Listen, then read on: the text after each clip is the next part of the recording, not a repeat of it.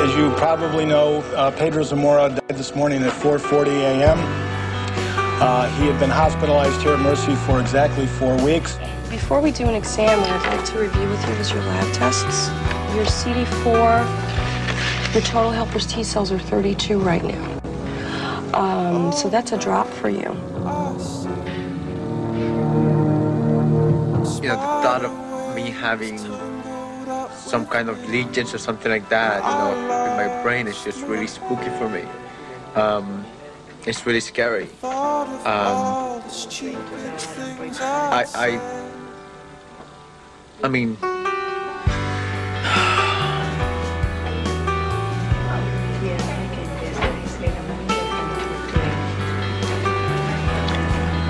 Dave, thank you very much for everything, okay? I, um,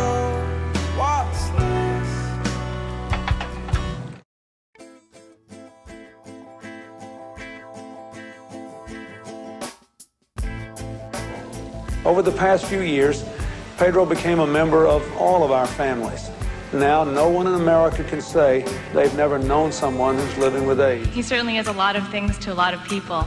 Uh, most people know him as a person living with AIDS, or as a heartthrob, or as an educator, an activist, a lover, a friend, a son.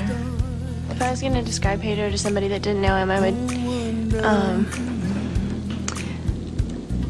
I would tell him how funny he is and how how passionate he is about telling the truth, and I define him as a very strong, strong-willed person, but very loving at the same time. This is my friend Pedro, and this is who would teach me everything I know about AIDS, and he would teach me a lot about friendship, and he would teach me a lot about just being a human being. Um, he went to Body Positive, which is a support center for HIV positive individuals.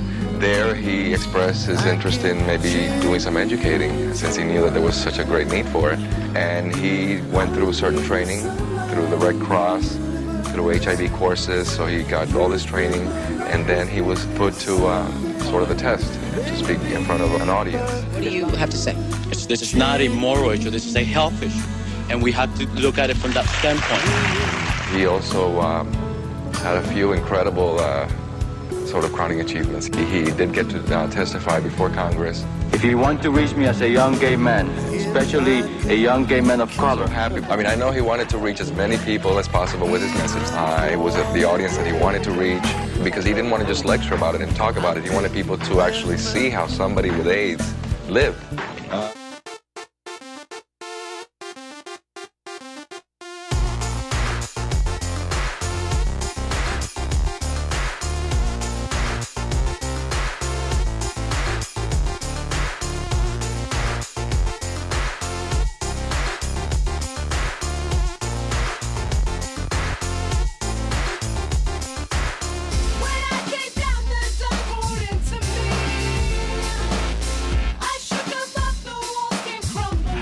And we knew that every day he faced death and uncertainty and sickness.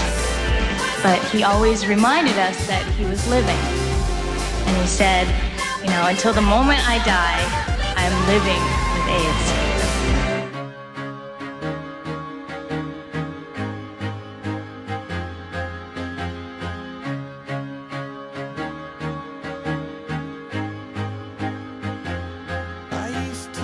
So, Pedro, let me be the first to congratulate you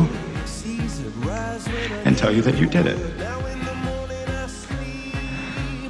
You accomplished everything you set out to do. Now you can rest. Pedro, all of us are very proud of you.